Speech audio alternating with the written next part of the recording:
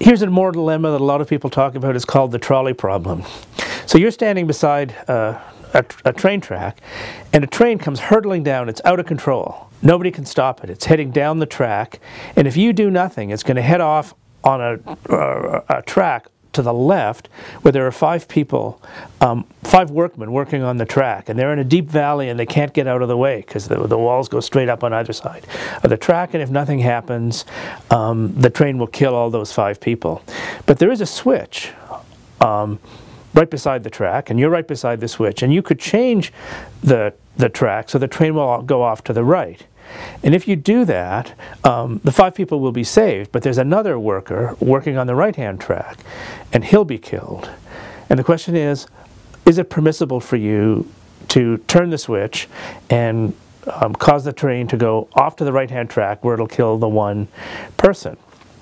And when people are asked about this, most people, not everybody, but most people say it is permissible to turn the trolley because you're um, saving uh, five people's lives at the cost of only one. So if, if, all that mattered was how many lives were saved, it would be obviously be the right thing to do. But it's actually surprising that it's the right thing to do, because most of us don't think that what matters is only the number of people who are saved, because in the other sort of famous uh, variant of this case, the train is rattling down the track, uh, if you do nothing, it's going to go off to the left and kill the five people. You can't um, switch the train, but you're up on a bridge above the track and there's a very fat man in front of you. And if you throw the fat man off the bridge and he lands on top of the on, on the track, he'll stop the train and the five people won't be killed because the train won't reach them. Now, if you ask most people, are you permitted to throw the fat man off the train off the bridge, they'll say no. Now, that's a case where you would save five lives at the cost of one and it's not permitted. Um, so why is it not permitted? I mean, an, an intuitive answer would be that, well, if you don't throw the fat man, the train will go off to the left and five people will be killed, but you won't have killed them. You won't have actively intervened in a way that resulted in their deaths. But if you throw the fat man off the bridge, somebody will die, namely the fat man, but he'll die as a result of what you actively did. You didn't just stand back and let things happen. You actively caused somebody's death. And that's why it's wrong to throw the fat man off the bridge. And what makes the original trolley problem a dilemma is that it looks as if the same reasoning applies in that case. Because if you just stand back and do nothing, the five people will be killed. Uh, you didn't cause their deaths.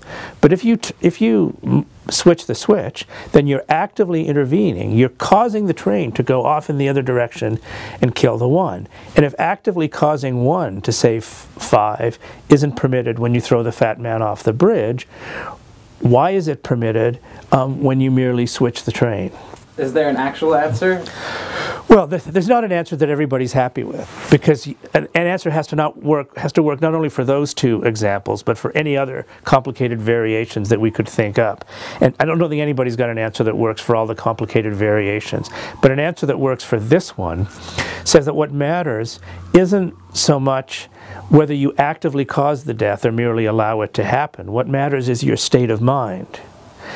And the, the question is, when the one person dies, do you intend his death as a means to saving the five? In other words, are you saving the five by killing the one? Now, if you throw the fat man in front of the train, that's true.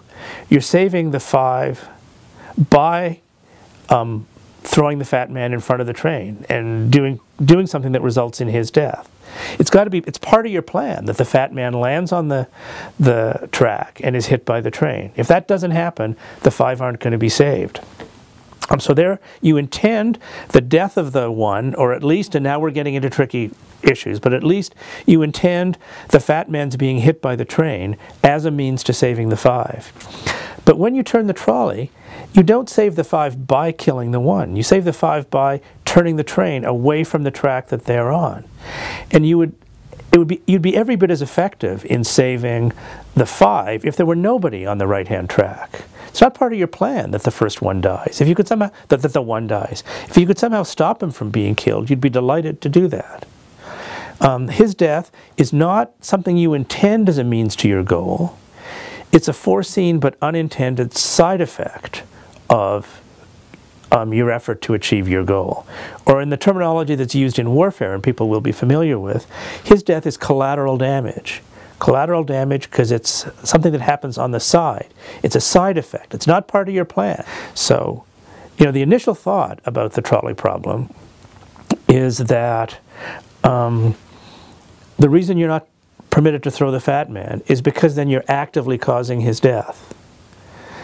But it doesn't seem that that can be the right explanation because then it would be wrong to switch the trolley from the left hand track to the right. Then you're actively doing something. You're not just standing there, you're actually actively changing things with the result that the one gets killed. And at least a possible explanation that what matters is not whether you're actively um, causing someone's death, but whether you intend their death as a means to your goal.